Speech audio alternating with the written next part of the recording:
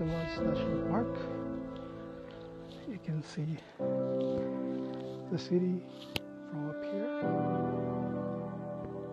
It's May, so it's uh, summertime.